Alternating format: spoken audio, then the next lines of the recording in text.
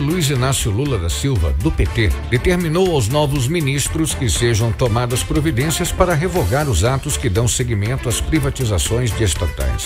O despacho publicado ontem justifica a medida em razão de uma necessidade de assegurar uma análise rigorosa dos impactos da privatização sobre o serviço público ou sobre o mercado no qual está inserida a referida atividade econômica o recém-impostado presidente divulgou uma lista de empresas que devem ser incluídas nesta determinação.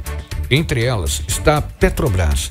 Após a publicação do despacho, as ações da Petrobras chegaram a cair mais de 6% na manhã, com os investidores ainda de olho nas ações do futuro presidente da companhia, o Jean Paul Prates.